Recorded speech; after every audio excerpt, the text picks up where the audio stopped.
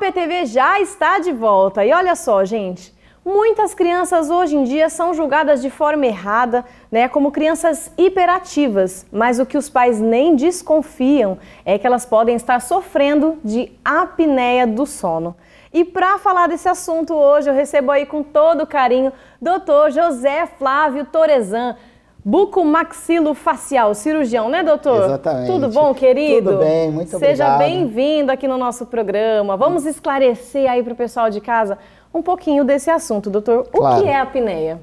A apneia é a parada do sono que pode, como a gente diz, né, é, durante a noite, é, o paciente pode ter várias paradas de sono e elas podem durar de 10 segundos até um minuto. Essa é a apneia clássica do adulto.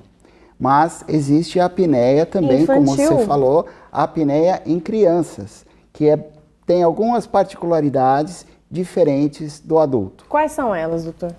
É que o adulto apneico, ele sempre vai ter sonolência diurna, ele vai ter é, um sono não repousante que faz com que ele tenha é, aquelas paradas, aqueles sonos durante a tarde, ele é comum ele ter histórico de que bateu o carro. Então, esse é mais é, o paciente adulto. Sim. O paciente infantil, ao contrário do paciente adulto, ele fica hiperativo.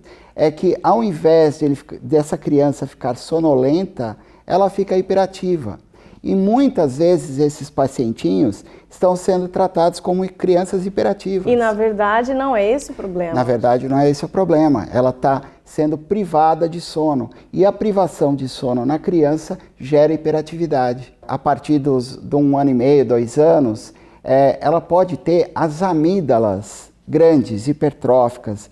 Ela pode ter aquela adenoide, que é o tecido. Esponjoso Isso, no nariz. é um tecido atrás, lá na garganta, que faz também com que esse paciente tenha obstrução. E ele acaba respirando, essa criancinha acaba respirando pela boca. E a respiração normal, ela deve ser pelo nariz. Doutor, tem algum exame que o pai pode fazer para identificar isso? É, a polissonografia é o exame de eleição para saber se um paciente tem apneia e principalmente a apneia que a gente trata, que é a apneia obstrutiva, tá? Mas em crianças é um exame um pouco difícil de ser feito, porque Por a criança tem que dormir num ambiente que não é o dela, cheia de eletrodos no rosto, no peito, para é, monitorar a frequência cardíaca, monitorar a saturação de oxigênio. Então não é um exame tão fácil para a criança. Mais baseado nos achados clínicos, ou seja, uma criança que respira pela boca, que tem um sofrimento para respirar durante o sono, que é hiperativa, que é hiperativa, que não se concentra bem ao longo do dia, então que vai mal na escola. Então essa criança, ela já pode ter uma avaliação clínica, ou seja, o otorrino pode olhar as amígdalas, as adenoides, existem aparelhos não só inspeção visual direta, mas com a nasofibroscopia. O otorrino ele coloca uma fibra que entra pelo nariz e ele consegue enxergar nessa região atrás. Se esse corneto, ou é um tecido que o pessoal chama de carne esponjosa, Sim. ele está aumentado, é, obviamente isso aqui é uma, um, um esquema de um adulto, mas uma criança, nessa região aqui, ela teria as adenoides, que é um tecido linfóide, é um tecido imuno, é, do sistema imune, Sim. que ele regride no adulto. Ah, então, entendi. na criança. Ele é aparente. Ele, ele, é bem aparente e ele pode estar aumentado. E as amígdalas que ficam aqui embaixo, mais perto da garganta, elas vão obstruir a passagem quando elas ficam muito grandes. Então, isso abaixa a captação de oxigênio pelo cérebro. Então, por isso, essa criança tem hiperatividade e falta de concentração. Doutor, o senhor estava me mostrando que tem algumas crianças também que tem aquela mordida aberta, né, onde a arcada dentária não, não tem o fechamento ali correto. Aqui nesse, nesse material que o senhor trouxe, mostra pra gente o porquê disso também causar a apneia. Na verdade, eu trouxe até uma imagem, algumas imagens de mordida aberta em criança. Então, mordida aberta em criança é muito causado por chupar o dedo ou ah. chupar chupeta durante muito tempo. Olha isso. Então, assim, essa mordida aberta em criança, ela, é, ela pode ser fechada com aparelhos ortodônticos. Na criança funciona muito bem. Quando essa mordida persiste até a fase adulta, muitas vezes ela é só fechada com cirurgia. É uma cirurgia chamada cirurgia ortognática.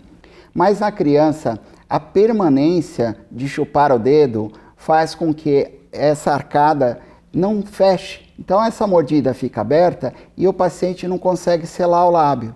Então, por ele não fechar o lábio, ele vai toda hora respirar, respirar pela, pela, boca. boca. À, à medida que respira pela boca e não respira pelo nariz, esse tecido que fica dentro, que são os cornetos, uh, na criança, a adenoide, que a gente que pode parte ver. amarelinha? É como não. está essa parte amarelinha.